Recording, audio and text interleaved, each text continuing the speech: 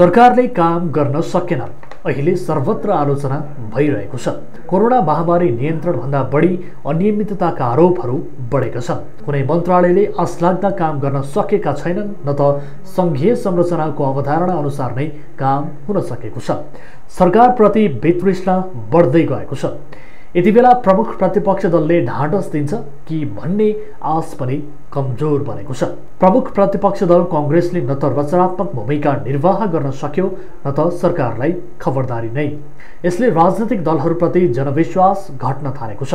बलियो प्रतिपक्षको भूमिका निर्वाह गर्नुपर्ने कङ्ग्रेस आफ्नै विवादमा रुमलिन थालेको छ। फागुनमा चौधौँ महाधिवेशनको तयारीमा जुटेको कङ्ग्रेस संस्थापन र संस्थापन इतरमा विभाजित बनेको छ। विधानत महाधिवेशनको दुई महिनामा विभाग गठन गर्नुपर्ने भए पनि अर्को महाधिवेशन तोकिएर कार्यतालिका सार्वजनिक भइसकेपछि सभापति देउबाले विभाग गठनलाई तीव्रता दिएको आक्रोश संस्थापन इतरको रहेको छ। सोमबार मात्र वरिष्ठ नेता रामचन्द्र पौडेलले कङ्ग्रेसको पुनर्जागरणका लागि सात बुधे दृष्टिकोण सार्वजनिक गरेका छन्।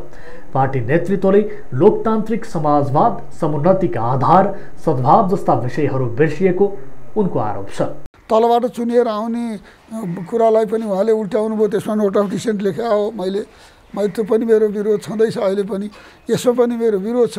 अनि शासनको कारवाहीमा पनि विरोध छ।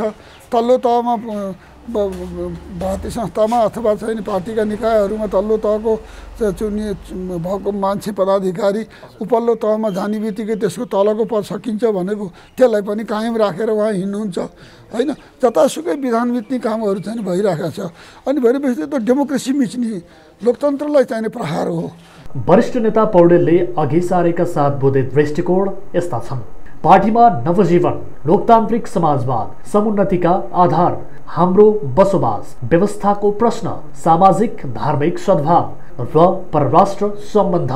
कोरोना भाइरसको महामारीका बीच महाधिवेशन हुन नसक्ने आकलन गरेको संस्थापन पक्षले यही कारणलाई स्थापित गर्दै महाधिवेशन धकेल्ने प्रयास गरेको असन्तुष्टको आरोप छ। महाधिवेशन बिना वर्तमान नेतृत्वले कङ्ग्रेस थप कमजोर बनाउने निष्कर्ष पनि संस्थापन इतरको बुझाइ छ।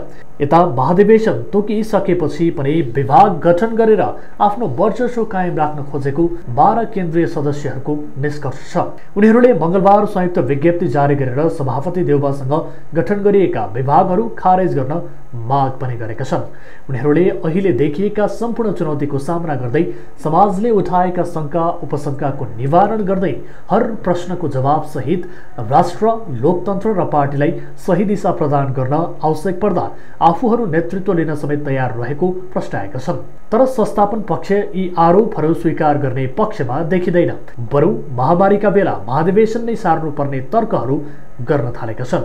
सत्तारूढसँगै प्रतिपक्षभित्र पनि देखिएको विवादले आम नागरिक दलहरूप्रति खासै आशावादी छैनन्। कोरोनाले सृजना गरेको सङ्कटमा पल पलका न्युज अपडेट र हर क्षेत्रको कभरेजका लागि। News twenty four Nepal YouTube च्यानललाई सब्सक्राइब गर्नुहोला।